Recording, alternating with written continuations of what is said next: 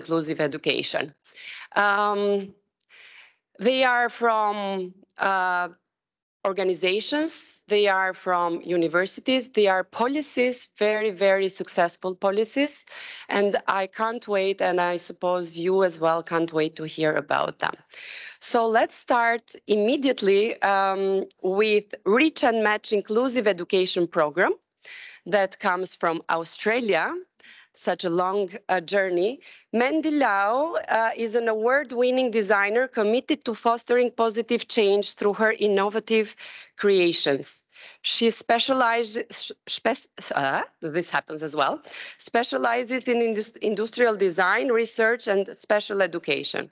Her dedication to inclusive education for children with disabilities led her to create Reach and Match, a pioneering educational tool that promotes inclusion. The tool Mandy created currently aids tens of thousands students with vision impairment and mul multiple disabilities in inclusive um, educational settings.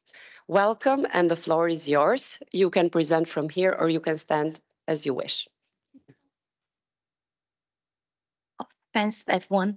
Hi, everyone. My name is Mandy, founder of Reach and Match based in Melbourne, Australia. It only took me 25 hours to be here. So I'm a young Asian woman with short hair and glasses and wearing a black dress. Um, today, I'm so excited to be here and share our inclusive education solution with you all. So we all know that children with disabilities often face social exclusion and struggle to reach developmental milestones. For example, in Australia, despite 89% of these children attend mainstream schools, only 70 but 70% feel isolated and left out of the school activities. But this is not just an Australian issue, it's a global challenge. With my background in product design and engineering, and I'm deeply passionate about inclusion and education, I was wondering what true inclusion looked like. And inclusion can be such a complex topic for adults, and how do we teach that to children? And it led me to start my research and address the global need for effective solutions to support children with special needs in mainstream schools. So I collaborate with the early intervention specialists and educators to develop Reach and Match. So this program is designed to tackle these challenges by translating inclusion into fun, interactive play. It breaks down barriers, making inclusion tangible and enjoyable for all children. And this program has four main components. The first one is, is a double-size sensory kit with the braille features. So children with vision impairment, they can play together. So this is part of the house I want to show you with the braille on the top, but also the letter. So children, they can all play together. And one side, the children can learn about matching colors, shapes, and sounds. And when you flip over, you can make a path, and children can develop motor skills, direction, and spatial concepts. And second, I work with educators develop a program that contains 40 activities focusing on physical, cognitive, language, and social emotional skills that align with the global early learning standards. So, so the teachers can easily adapt into their curriculum. And we also provide training for educators so they can learn about the inclusive pedagogical techniques. And lastly, we also work with some organizations develop monitoring and evaluation tools to monitor the effectiveness of the program to make sure that um, the impact on the children and um, teachers can be maximized. So for Reach and Match, um, unique value is provide an innovative approach to education, intervention, and inclusion. Uh, first of all, it's inclusive and multisensory. It's fun for all children. We invite everyone to come. And they can learn and collaborative um, uh, through play. And also because of tactile, auditory, and visual activities that promote social inclusion. And this is evidence-based and also adaptable, supported by rigorous research designed to meet the global learning standards. And it is also adaptable to diverse cultural contexts and ensure everyone can access. Lastly, our program is dedicated to empower educators and therapists So we provide their training materials, enrich their teaching methods, and fostering the essential cognitive motor social skills in children. So since 2014, Reach and Match has impacted over 35,000 children in eight countries. Um, and we've been using in many settings, kindergarten, schools, families, early intervention service. And we've seen improvement in participation, learning outcomes, and emotional well-being among children with disabilities.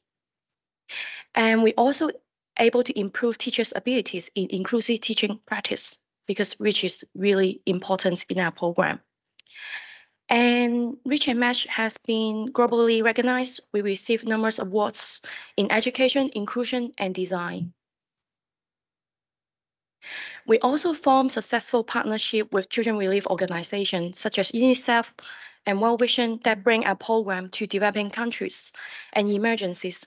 For example, we partner with Save the Children to support over 2,400 children affected in the Marawi siege in Philippines in 2018.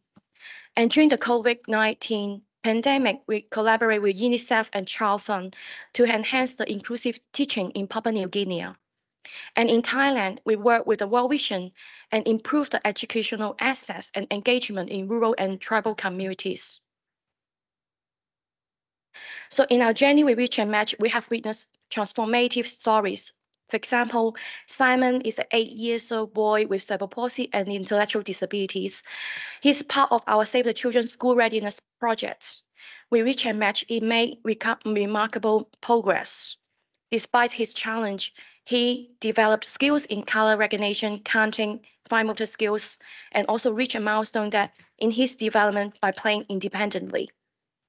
And another inspiring story comes from our partner with American Printing House for the Blind. Barbara Peterson is a APH scholar and vision consultant, has been firsthand uh, witnessed how Reach and Match benefits children in various therapists. So her team used this in different settings in early learning, orientation, mobility, physical and occupational therapists. And she shared that uh, the program's flexibility and innovations and highlights how it supports holistic development in children and meets their educational and therapeutic goals. So as we look forward and to the future, our vision for Reach and Match to ex is to expand its influence globally and further enhance the impact in our education system. And we also commit to have ongoing product development focusing on creating inclusive, accessible, and scalable resources that align with the Sustainable Development Goals for quality education. And we're also developing a family version, uh, the learning kit. And we acknowledge the complexities involved in distribution resources need in the production. And there are some steps we, we are learning and navigate as we grow. And we're actively forming new partnerships with educational institutions, governments, and international um, NGOs to promote inclusive education and reach to more children. Finally, to reflect on this learning journey, I realized that inclusion does not need to be complex. It can be fun, engaging, and authentic for everyone. And if you are inspired by our vision, I would love to invite you to collaborate with us to make a difference in the lives of children globally. Thank you.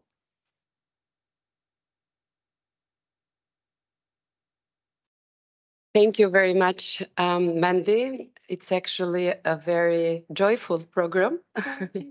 and we all know that we better learn through play, right? So, um, and I'm very impressed by uh, the power that you have given to the program through the very important collaborations with key players uh, uh, in the international arena. Um, I believe we will have questions to Mandy at the end of the session, and you kept note of those questions. Now we go to Israel, uh, to the MISC-SR model, which stands for Mediational Intervention for Sensitizing Caregivers to Promote Self-Regulation. This is an evidence-based intervention model for guiding parents and caregivers in promoting optimal inclusion of toddlers with disabilities. Um, to tell us everything about uh, this award-winning um, model, It's with us Dr. Nurit Jaegerman is the head of the Harris Clinical Developmental Unit at the Faculty of Education of Bar Ilan University in Israel. And the program was developed and its effectiveness was research proven as part of Dr. Nurit's doctoral thesis. The Harris Clinical Developmental Unit that Dr. Jaegerman founded and uh, manages consists of healthcare professionals that specialize in the model, implementation, teaching, and training. Together with Dr. Nurit is also Ms. Netta Aharoni, which is an occupational therapist and head of occupational therapy in the toddler and preschool programs in Israel Elwyn, which is northern Israel and Jerusalem. Netta initiated the implementation of the model in the organization. She also leads the training of the multidisciplinary staff of the model in collaboration with staff from the Harris program at Bar Ilan University. Netta is the parent counselor and promoter of expanding the implementation of the model nationwide in Israel. Thank you very much. Welcome.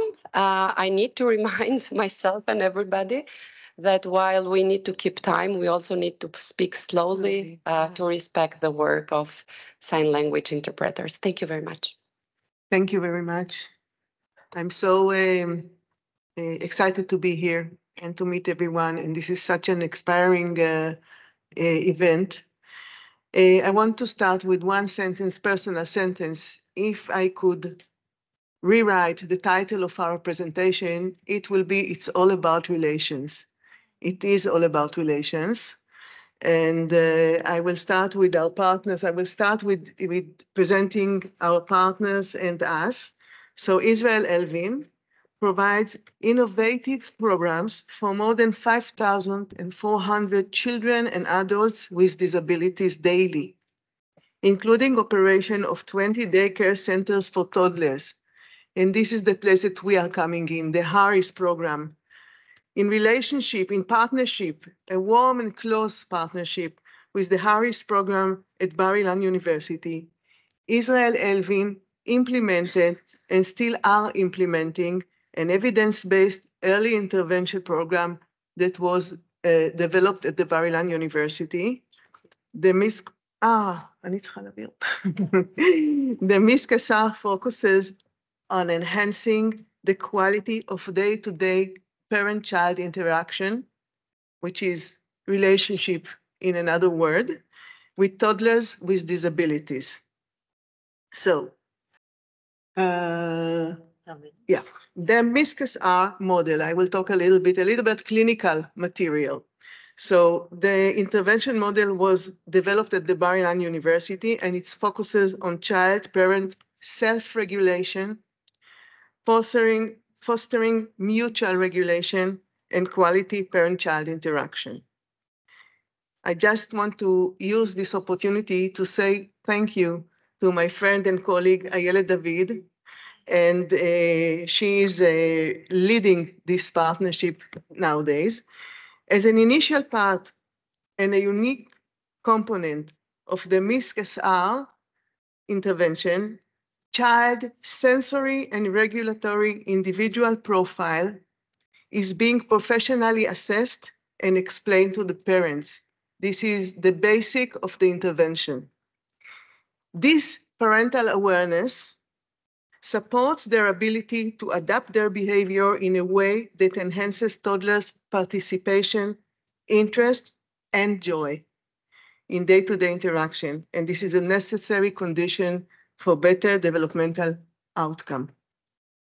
During the, during the intervention, videotaped parent-child play sessions are analyzed together with the parents, and we identify together parental behavior that meets toddlers' individual sensory and regulatory needs and enhance overall development of the toddler.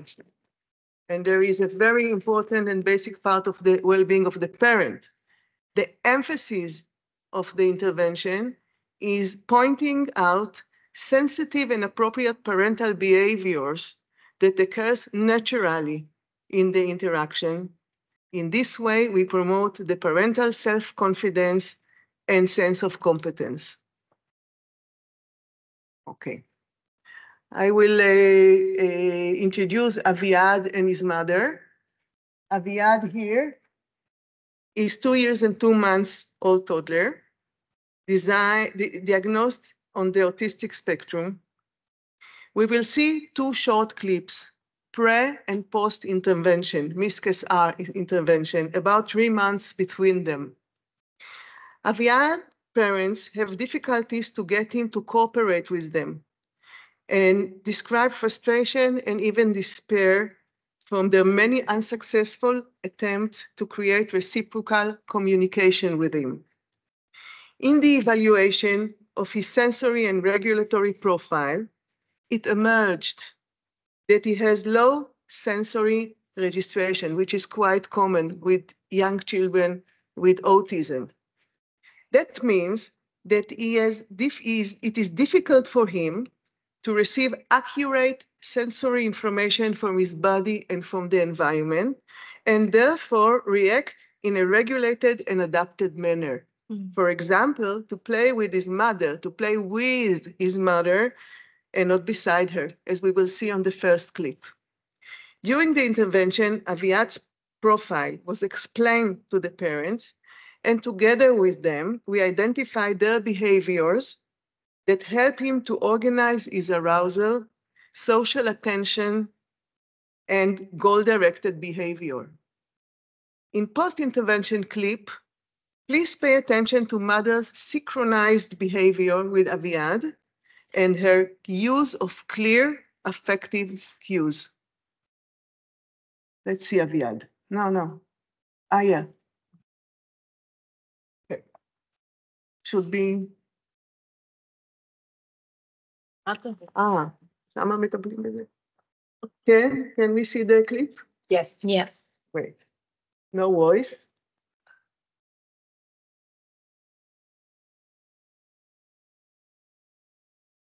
דבר, זה יורד לנו בזמן.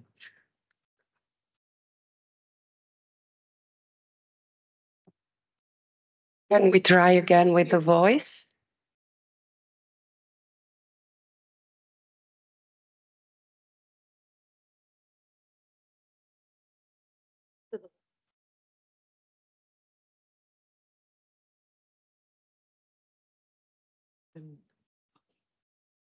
So I will try to speak with it.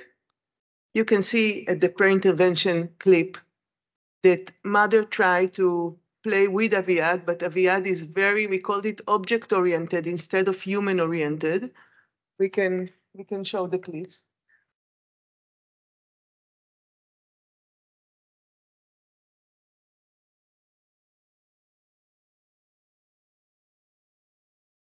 Okay. So he's playing with the car and his mother is trying, she says, give me the car. She says, let's play together. She says, it's not fair, you're not giving me the car. She's trying something else because it doesn't work with the car.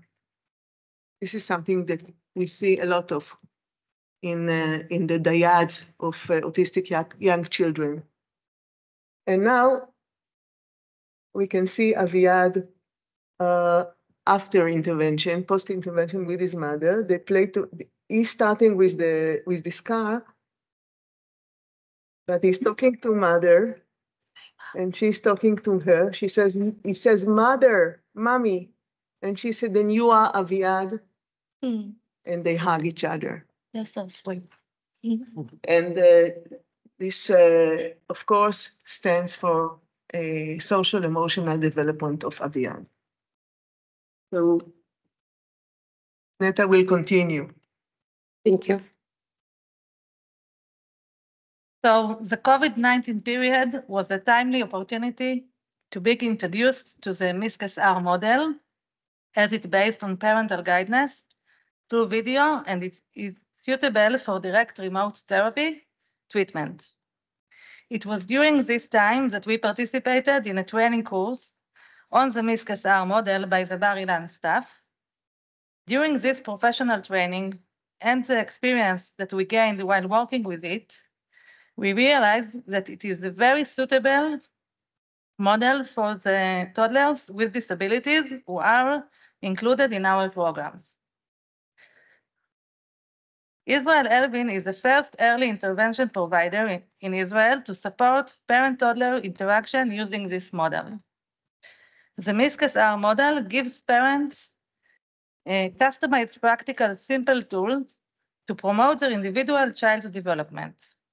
The fact that intervention can be applied remotely help us to expand our services to the families.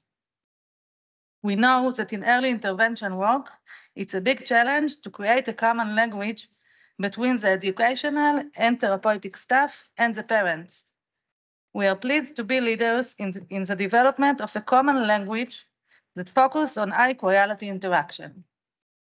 For example, match and stretch is a common expression that people interacting with a young child understand, as it highlights the importance of relating to the child on her or his level, and then expanding this a bit so that the child may learn something new. Through the program, no. Through the program, we train Israel Elwyn's multidisciplinary ex experts nationwide who use the model with parents and educational therapeut and therapeutic staff. The model promotes the development of toddlers with disabilities, and we see the positive impact on their quality of life and their opportunities for inclusion in society. We believe that the success of this intervention is providing our staff with a boost of motivation um, to continue with the important daily work. As this is the feedback we received from one of the first families who motivated us to continue with the model and to expand the program. Uh, the therapy combines feeling, feeling a video of the parents playing with Yanai, viewing the video and assessing what took place, while also providing insights regarding Yanai's needs and the relevant behavior and interventions that we as parents need to provide to achieve developmental progress. Through this work, we have seen nice progress in all areas, cognitive, language, behavioral, and emotional. Our primary challenge is to introduce a new way of working in the organization that both the staff and parents are not familiar with, and this adjustment takes time. Another challenge is that the staff must utilize specific skills that are provided in the MISC-SR model, such as cultural sensitivity, when working with parents from diverse groups in society. A final challenge is succeeding in getting funding for the extra services we have added to our early intervention programs and to, try, to train more professionals to use this model. Our next steps to expand the project to more of Israel's Elwyn's early intervention centers and preschool nationwide. To use the model principles in Israel Elwyn's other programs for all age groups, and to scale up the model so that it can be replicated in other organizations, bringing about a change in education system in Israel as well as internationally. Thank you.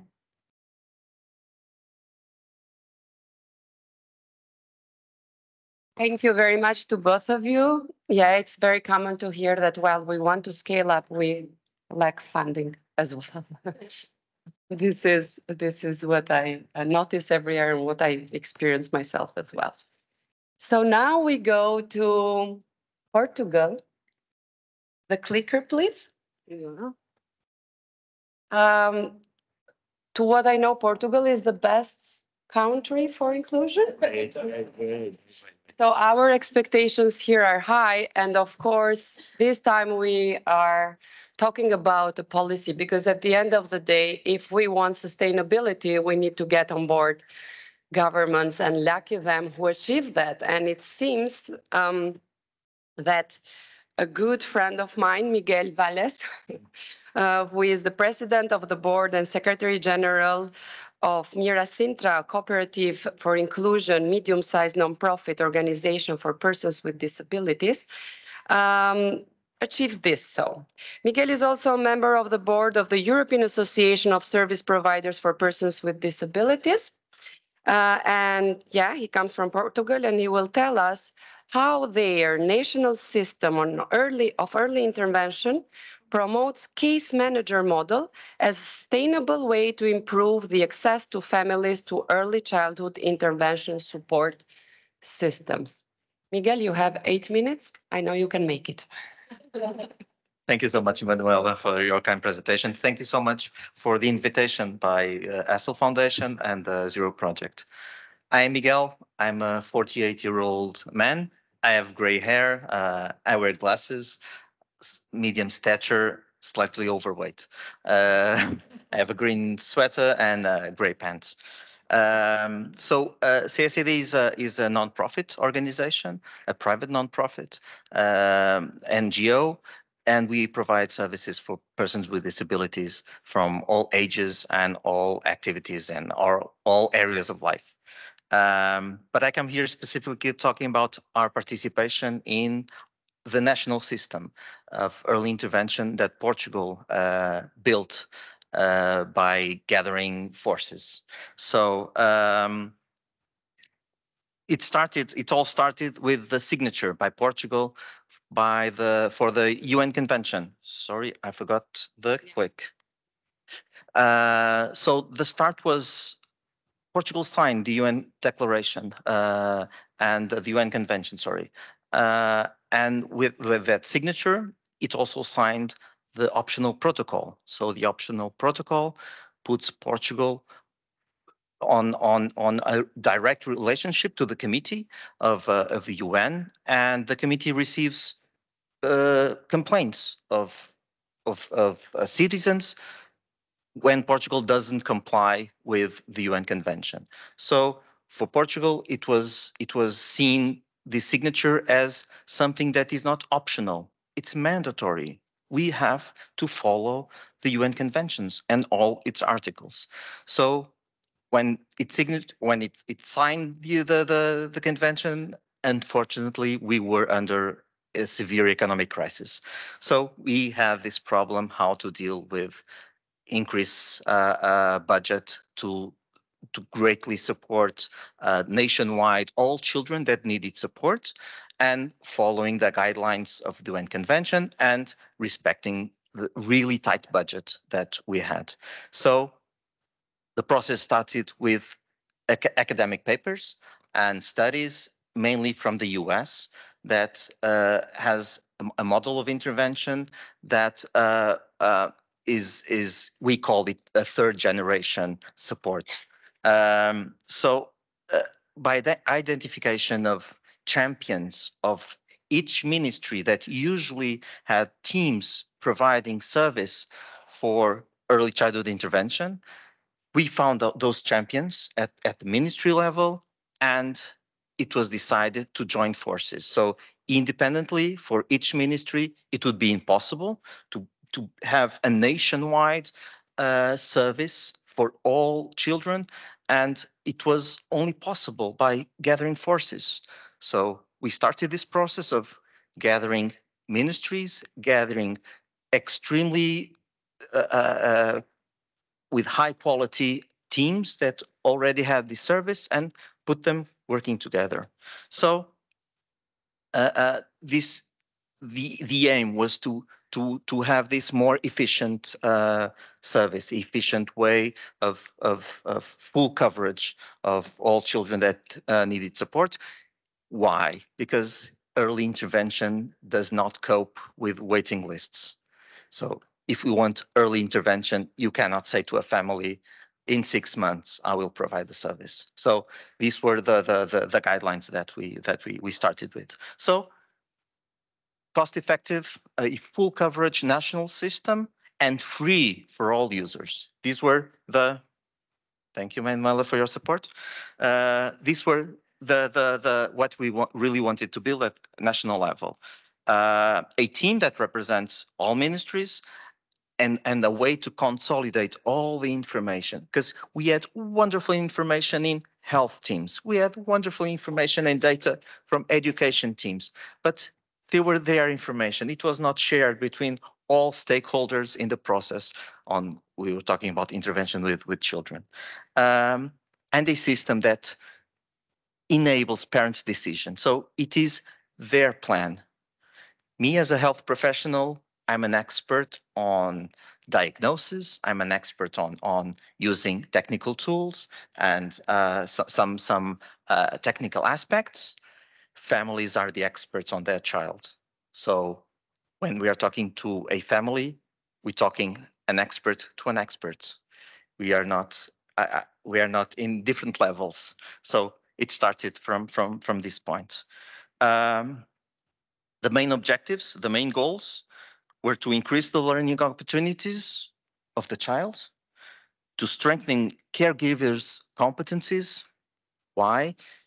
Because sometimes it may happen for that family to have another child with a disability and to have another child those competencies are not are belonging now to the family so they require different support um, and to promote family participation and the engagement of uh, on community resources. So how to easily access the services that I need because previously what we had was families fully engaged and with with many resources that could go to different ministries and and bring to themselves and to their child all the resources needed. We know families defend their child and for them more support is better. You know if i have one hour therapy two hours it will be better. If i have two hours four hours therapy it will be better. So for the family perspective the more the better. However on the other hand you would have families with less resources less opportunities that got nothing because they didn't know how to get how to overcome those bureaucratic hurdles that we have to to to to go to the to the obstacles that ministries uh, have you know? So these were very simple objectives that that um, that we had. And so the national system started to be built. This was a national level so joint resources by three different ministries um, and where they share their budgets where they share their human resources uh, the information that the database management is, this is really important. So ministries shared all the information and for the professionals working on ECI, sorry, uh, early childhood intervention, they would get all the information from health sector, from the education, from social affairs, or for uh, um, even on, on these uh, technical tools. So it will be a, a one-stop shop for families and the person that interacts with the family has the full data access when they're uh, having the, this this uh, these interactions. And of course we are just one of many many uh, organizations that participate in the, this national system. But when we entered the national system we also shared our partnerships. So our relationship that we grew uh, along the years so we also bring those partnerships to the national system. I think it, it, will, it was a win-win situations for all. Um, so the current system now is that we only have one national coordination. It's three persons on a national system, so each person representing each ministry. We have five regional subcommissions. So Portugal do not have uh, autonomous regions in the national territory. So these are ways to divide the, the, the, the national system. And currently we have 155 local teams, ranging one team for usually have 20 professionals for, for each team. So it's quite a large number. Uh, 1,600 professionals, ECI working national. We support around 27,000 children on, on this model and 80,000 persons are supported. So it's counting families and all, all the stakeholders involved. And of course, I'm overshooting my time. Uh, this is a this is a, a, a way to decide to, to for you to see the importance of the transdisciplinary team. So if we want to have this, the role of the case manager, the case manager when interacting with the family, the case manager also represents their ministries. So a, a case manager is something is a, a ECI professional that interacts with the family and he represents the whole local team and has knowledge and and can share for the family all all the hurdles that that we have so it intends to be a, a one-stop shop for families and it's it brings this process much easier and since it's national uh, national uh, coverage if a family moves from from one location inside portugal to another the plan is the same. So there's another lo local uh, team that receives the the family plan because the plan, the intervention plan is the family's document. We are just uh, we just help the process. So this is our our uh, system, and just just to uh, just a quick um, the information that is on the website on, on our project is not really accurate. We are trying to to change the, the the, the wording because it was it was collected in the wrong way. But we will uh, so do not base on the website uh, uh, for you for you to to get some information on the on the project. So thank you much. Thanks so much. So sorry for. Thank you very much, Miguel. I. I hope anyone in the room feels challenged enough to manage if they if you still didn't manage to have like all three ministries on board for any kind of services. now we go back to Israel again. Uh, and we go to Krembo Wings, uh, where a youth movement has been placed, right, to support disabled individuals. The develop training for educational, so they develop training for educational teams in kindergartens, promoting inclusive discourse. Um, and to talk about this, I have here uh, Ms. Bet Bat Chen Gazala. Am I right? And uh, sorry, you can then introduce yourself. It's difficult to pronounce, but I'm very sorry about that. And Efrat Steinberger. This is like German surname, Yeah. so uh, I can make this. I live in Austria, I live in Vienna, and I am, I have some level of German. Um, they represent the Educational Social Knowledge Center of Krembo Wings, an inclusive youth movement for children and youth uh, with and without disabilities. Uh, this model of inclusion and belonging was adapted to formal education system, starting from preschool age program, including activity sets, games, and accessories that promote inclusion and belonging.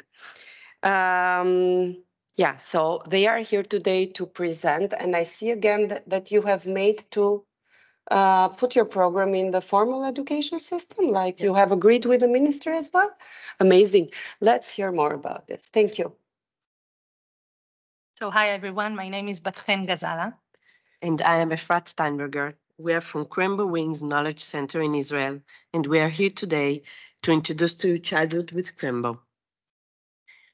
Krembo Wings is a youth movement that brings together children with different abilities for an afternoon social educational activity that is both accessible and suited for the diverse abilities and needs for all our participants.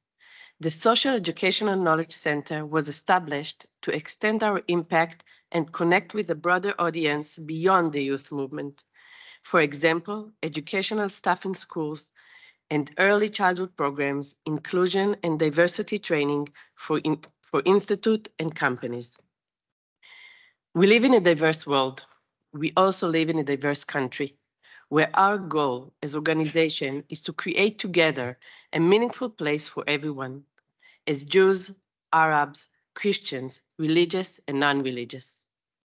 In our exploration of research and learning within the Knowledge Center, we have observed that children introduced to diversity only after the age of 10 often holds fixed perspective, making it challenging for them to reshape their opinions on inclusion.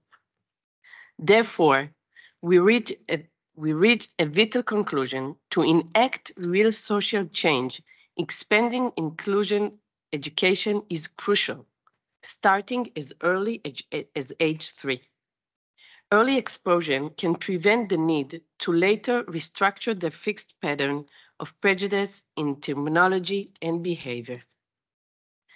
The program is designed to enhance the sense of belonging for both children with and without disabilities within a diversity yet socially inclusive group. To achieve this, we focus on raising awareness about the needs and differences of every group member, while encouraging the use of terminology that emphasize uniqueness rather than differentiation. The ultimate aim is to nurture a community where every child plays an active role. We envision that this group of children will serve a future model for the broader adult community, covering nuclear and extending family, circles of friends, neighbors, place of residence, and ultimately the entire society. It's essential to note that the main audience of Childhood with Krembo isn't individual with disabilities. We focus on educating kindergarten staff and children from mainstream education in order to change the status quo and foster a more inclusive society. So how do we achieve this? We provide a program activity kit to all participating classes, which includes a set of activities arranged to promote inclusive progress. The kit offers flexibility with activities adapted for various age groups, allowing teachers to customize based on their kindergarten structure and their personal preference. Teachers are encouraged to expand on these activities and contribute their own ideas to the collaborative pool of teachers and facilitators. We believe that in order to lead to actual change in their terminology and practice it in classes, it is important that the program be led by the teacher themselves and with the involvement of the entire educational staff, not by an external facilitator. This approach ensures that the program's content is seamlessly integrated into daily routine and reflected in the kindergarten, in the kindergarten schedule. To further support this process, each teacher is paired with a facilitator from Krembo Wings who provides professional guidance throughout the school year. These facilitators are expert in Krembo Wings inclusion model. Their role is to address specific difficulties and offer advice on building the educational environment, for example, accessibility and adaptations, contributing to the creation of an inclusive educational environment. Now that we understand a bit more about the practical side of the program, I would like to present to you some examples of the impact of childhood with Krembo. In one participating kindergarten, the teacher introduced dolls with disabilities to broaden the children's perceptions on diversity. Initially, a four-year-old girl expressed fear and avoided the dolls. However, within a few months, a remarkable change occurred. She provided a chair for a doll with a prosthetic leg at a group gathering, went out with the doll to the yard and built a ramp for her. At the end of the year, the girl's mother took her to a toy store and let her choose a gift. The girl chose a Barbie doll in a wheelchair. The mother shared the story on Facebook, crediting her daughter's choice entirely to the, to the program held in the kindergarten. After a whole year, in which the program took place in a different kindergarten and the children awareness increased, the children raised an issue regarding a lack of accessible playgrounds facilities throughout the city. Taking initiative, they conducted research, obtained quotes, and scheduled meetings with the educational departments and the mayor's office. They presented them with the need and the optional solutions. Months later, in the new recreational area that was built, an accessible facility was installed for the benefit of the city's residents. At the end of the year, the kindergarten children met with Krembo Wings Youth Movement members with and without disabilities for meeting focused on mutual acquaintance, learning, and collaborative activities. But like any journey, not everything goes smoothly. On, on the technical side, securing the budget can be challenging. On top of that, kindergarten teachers already engaged in additional mandatory professional development may not always have the time or openness to add another program, especially with large classes sizes ranging from 32 to 35 kids in Israel. Additionally, we face occasional resistance from parents and staff who hold biases against disabilities and inclusion. Some worry that their children won't receive sufficient attention due to the diverse challenges presented in a large group. Despite these challenges, we remain optimistic. We have evidence that while it's a process, attitudes toward inclusion are changing and will continue to do so in places where Childhood with Krembo is implemented. Looking ahead, our vision is that Childhood with Krembo will be an integral part of the academic training that new kindergarten teachers receive. We aspire to integrate it into the general early childhood curriculum. Our goal with the Childhood with Krembo is to support inclusion reduce biases from parents and educators towards people with disabilities, and increase the inclusion of children with disabilities in mainstream early education. Thank you very much. Thank you very much. Congratulations. And yes, of course, also as parents are a burden sometimes. Um, now we go to Chile. And um, this is a topic to my heart because my son was born with Down syndrome. And I was very, very much amazed to see how these kind of centers exist actually. So we go um, to Miss Macarena Lizama. She is associate professor in the pediatrics division of the Faculty of Medicine at the Pontificia Universidad Católica de Chile, founder and executive director of Down Syndrome Center in Chile as well. Uh, she will talk about this Down Syndrome Interdisciplinary Center established by a numer numerous faculties of the university to improve the quality of life of people with Down syndrome by promoting knowledge in the training of expert professionals, providing tools and training to people with Down syndrome and their families to facilitate the maximum development of their capabilities and inclusion in our society with dignity and respect. Tell us mm-hmm. how you made possible for such holistic center bringing together faculties as well. Thank you very much, Emmanuel, for this presentation. Um, for people uh, who can't see me, I'm a white woman with uh, black hair in the middle of 40s. Um, I'm using a red jacket. And today, uh, as Emmanuel says, I will share with you a program uh, from Down Syndrome Center from Universidad Católica de Chile. Uh, our center has had the mission of improving the quality of life for people with Down syndrome to facilitate the best development of their capabilities and inclusion in our society with dignity and respect. The main pillars uh, of our center are research, professional training, and continuous stimulation for people with Down syndrome. So our objective is to increase the inclusion of people with Down syndrome. And one of the ways to achieve it is through the comprehensive integral development stimulation program that I will share with you today. The essence of our project uh, is a comprehensive early stimulation program for children with Down syndrome from birth to six years old, focusing on personal, cognitive, emotional, and interpersonal skills. We work in group sessions, each one with three children with similar age and developmental level.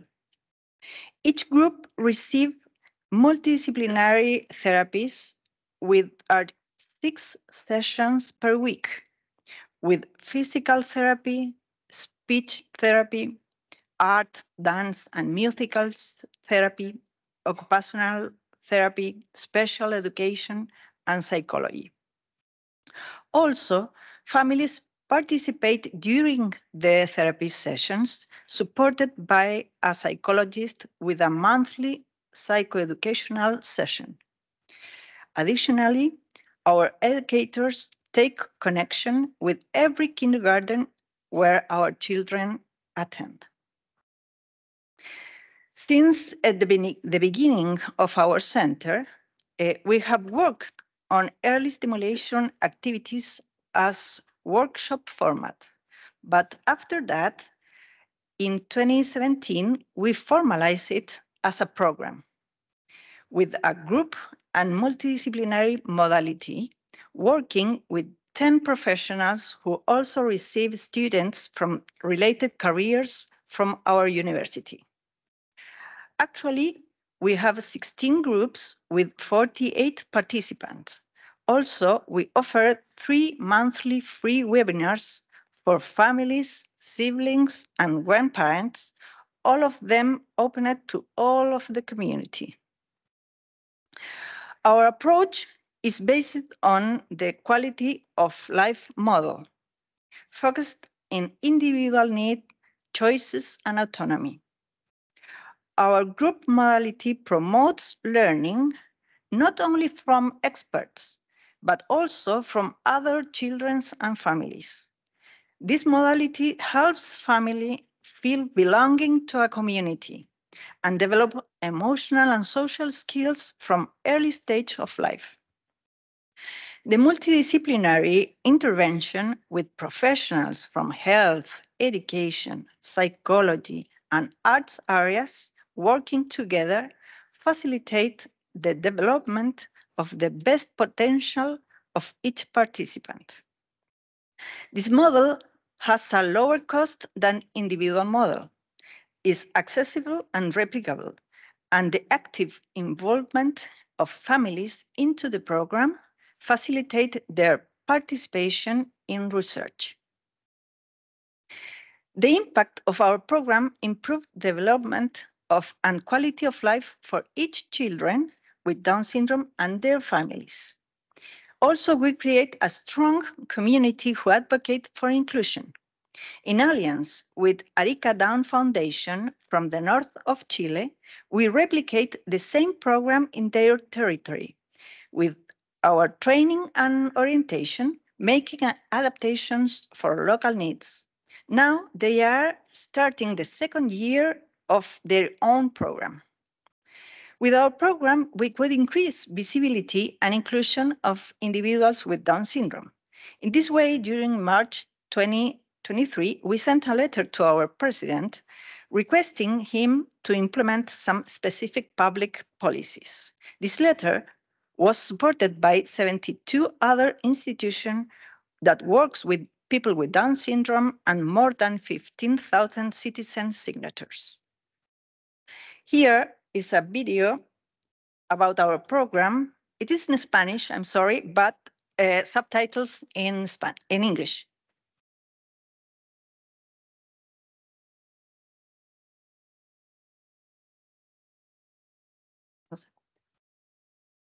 Okay, we have no voice again, but we can read. Some of us.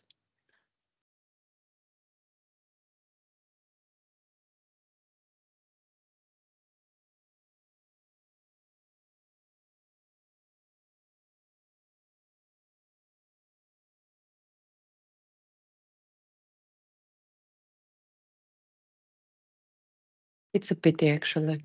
Yeah, that we cannot, but I know that the technical guys are doing their best, but they couldn't manage.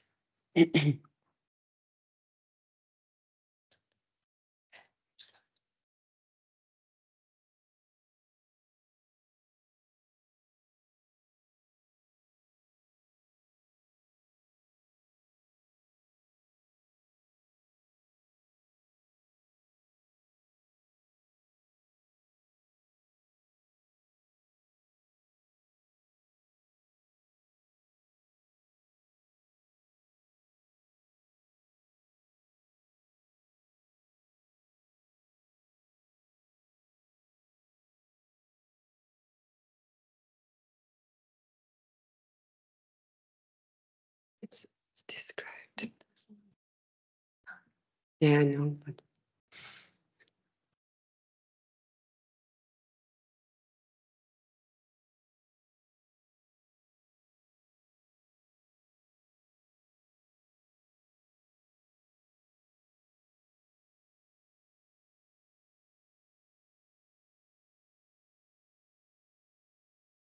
So the program is supported um, is supported by the contribution of our families and the center's own resources.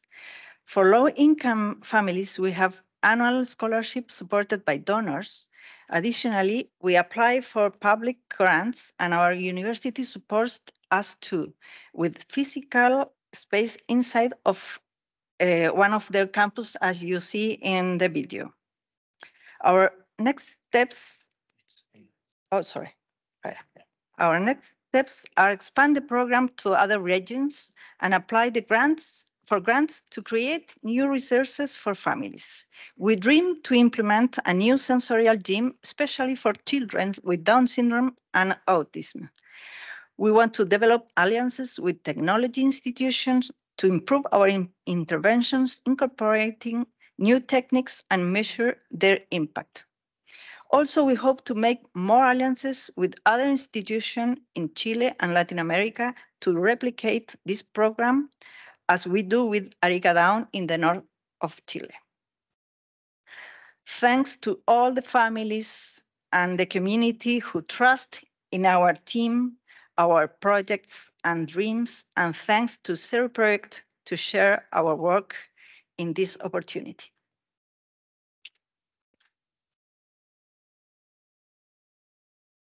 Thank you to you as well, Macarena. Among your challenges, I didn't see any funding challenges. So it seems you're just focused on improving the model.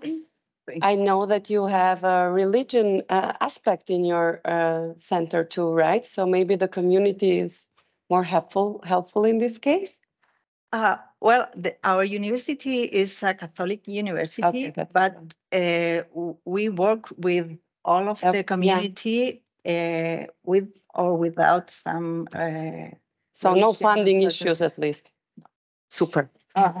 Congratulations. Thank you, everyone. I think we managed. I know that we need to leave this stage in 15 minutes. So now is the time for the audience uh, to tell us if they found anything interesting here so they can ask questions. Anybody? Yes, please. Um, I'm sorry, but I think we need to take care of a microphone because the sign language interpreters will not be able then to. Hello, um, I am a uh, school-based physical therapist from New York City. Um, I work for the Department of Education, and I do have a question for the about the Down syndrome program. Um, I was just curious, is it hoping to be integrated into school, or is it a separate program? Um, thank you. Uh, it is a separate program. It, compl- it is complementary for uh, kindergarten and school uh, activities. So uh, we we plan uh, the um, schedule of the children in the hour that they are, aren't in the uh, school. So for um, er, uh, children before three years, uh, they are they go to our center uh, in the morning, and for toddlers, they are go after lunch. Yeah. Yes, Egla. Egla is my colleague from Albania, Hi. representing another organization. Yeah, we Albanians are a team here every year. Uh, hi, my name is Eglantina Slako and I represent Help the Life Association from Albania.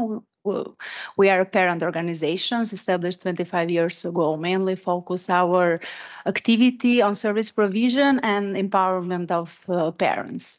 Uh, I have uh, one question for Miguel and one question for the Israeli organization. I hope I'll have time to, to make those questions.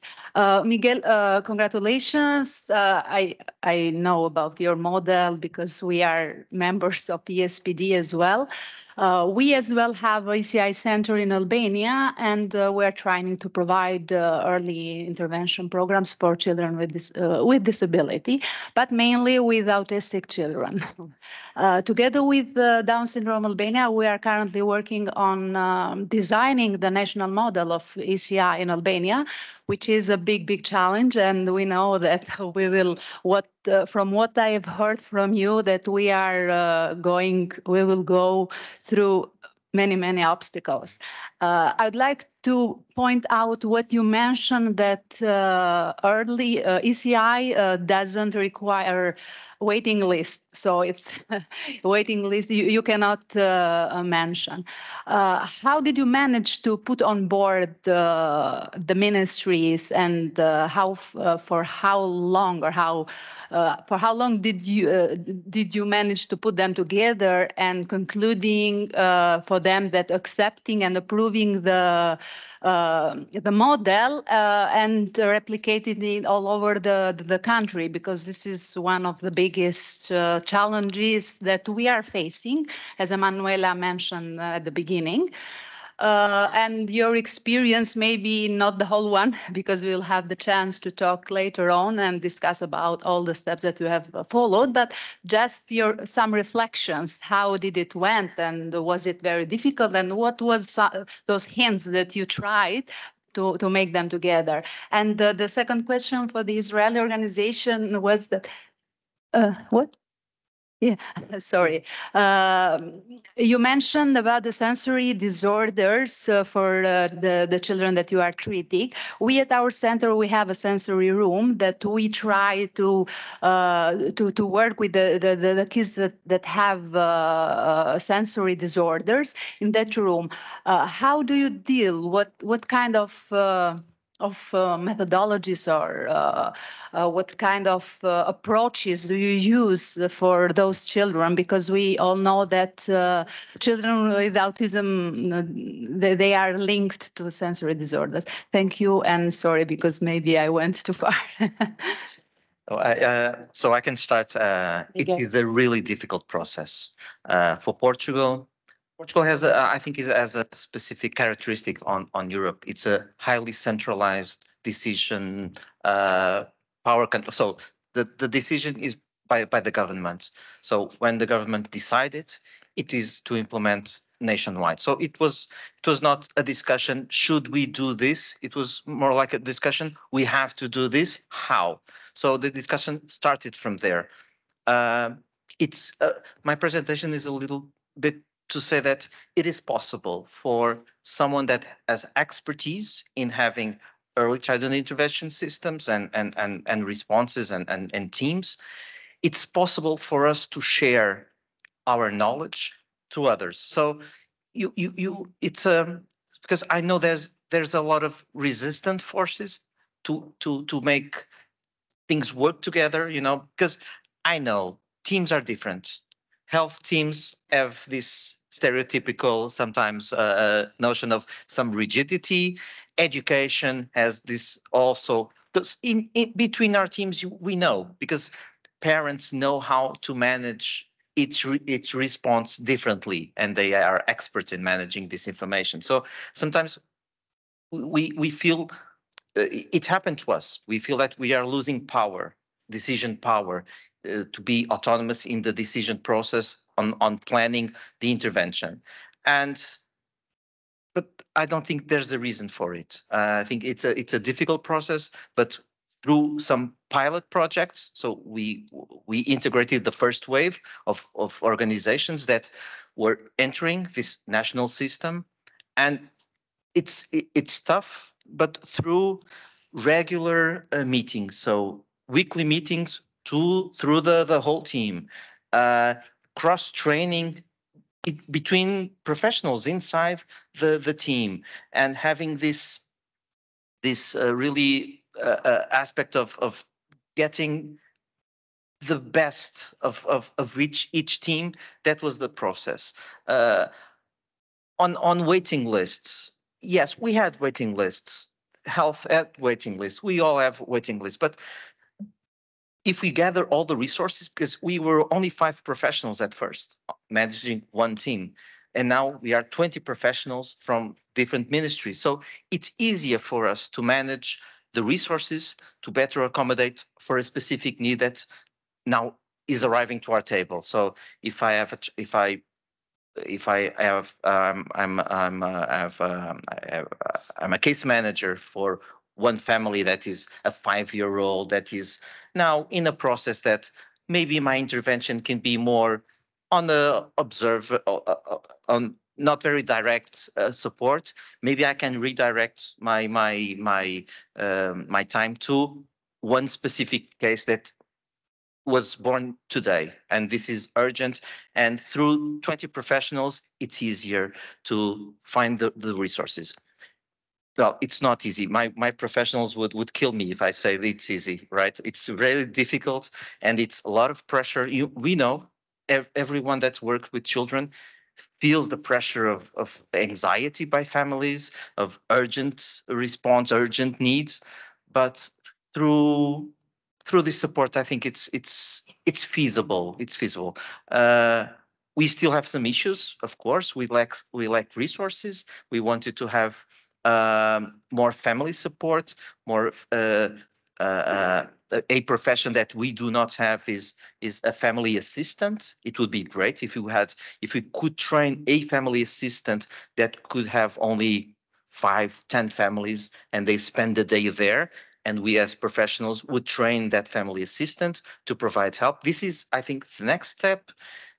We do not have yet the national resources to do this, but it's it's possible, and I think it's replicable to to other countries to to to implement it.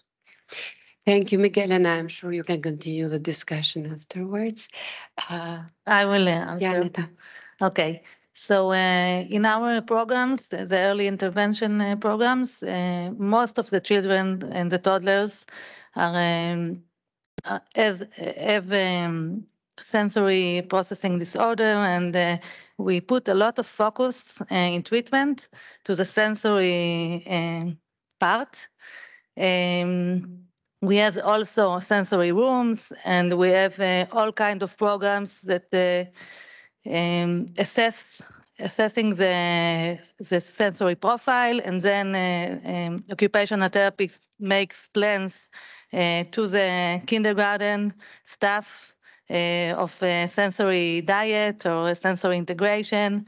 And uh, in the past years, uh, we understood that the interaction, the quality of interaction, can really um, influence the, the, the sensory regulation.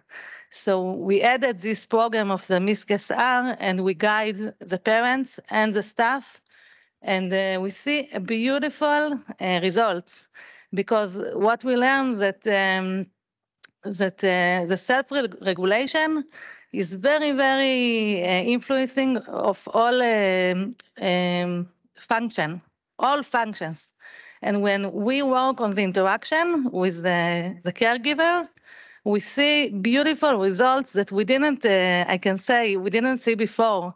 We we see it in uh, in eating in the eating uh, in the meals we see it uh, influence the language very nice uh, on the play on the learning we see a very nice uh, results and that's why uh, we we decide to to take this program and but uh, we also uh, fo- we also do all the other things I would like to add one sentence. Yeah, but please quick, because I want to Quick, give. quickly, I uh, just want to add one sentence.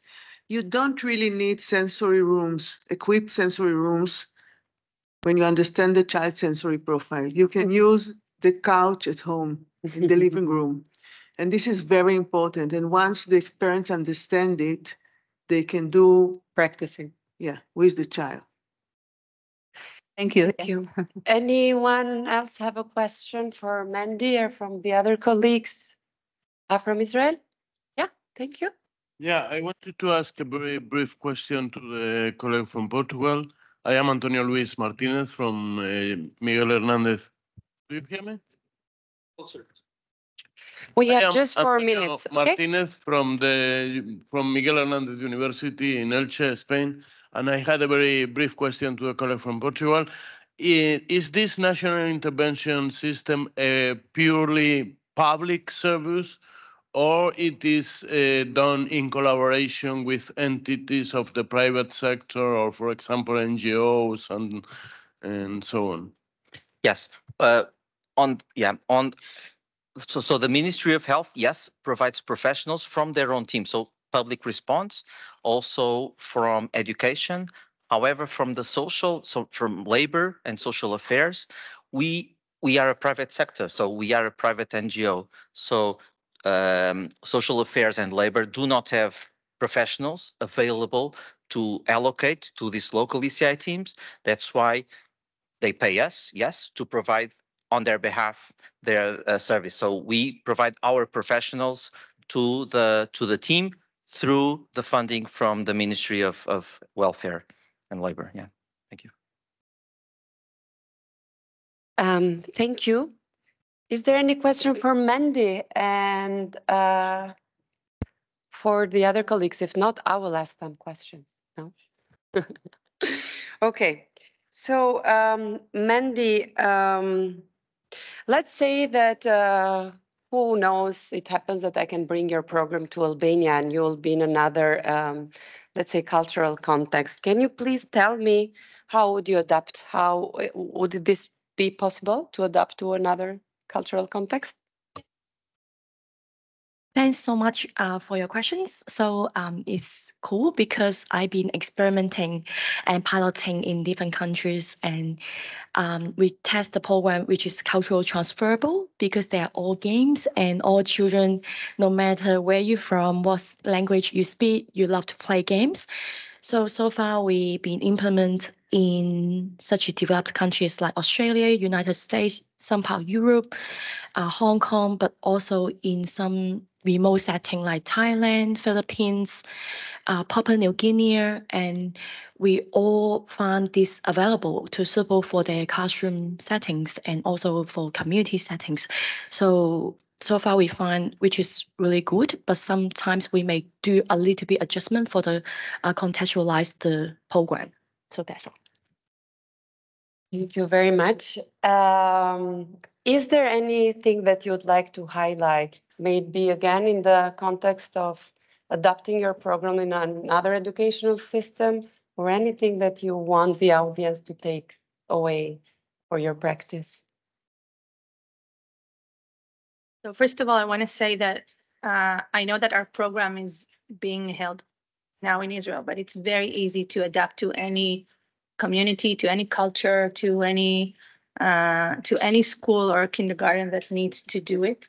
Uh, we translate it into English, to Arab. We have uh, performed it into uh, multicultural uh, systems in Israel, and uh, it's very easily to to do the changes. And we really hope that it will be in the mainstream education, like all over. Thank you, everyone. Uh, I think we made it. Yeah. um, I wish you all all the best. Thank you to the audience. My final request is anybody here feeling like a donor to programs in Albania for disability, please come and meet me. Thank you very much.